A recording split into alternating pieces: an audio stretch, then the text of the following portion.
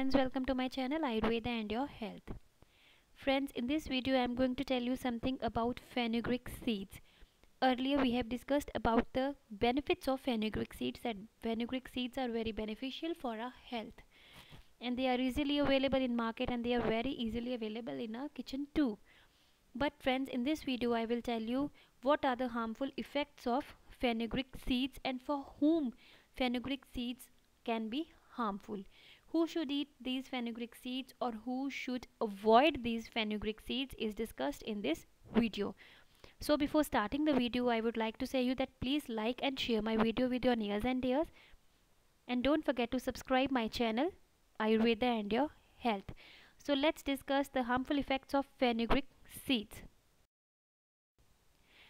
Now friends i will tell you who should not eat these fenugreek seeds we already know that fenugreek seeds helps a lot in Vat and cough related diseases but it increases pith. So the people who have pith related diseases like acidity, stomach ulcers etc.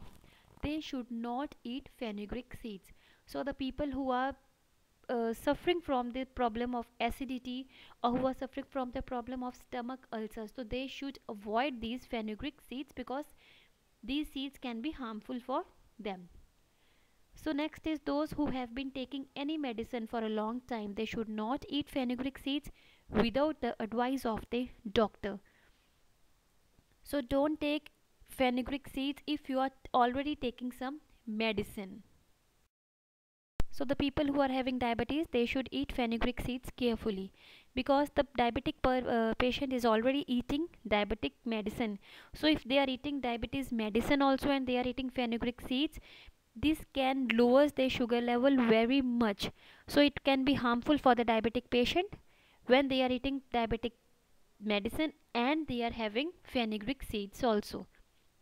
Next is uh, friends that the, those whose stomach is very sensitive they should also eat fenugreek seeds carefully because some people are having a problem of diarrhea.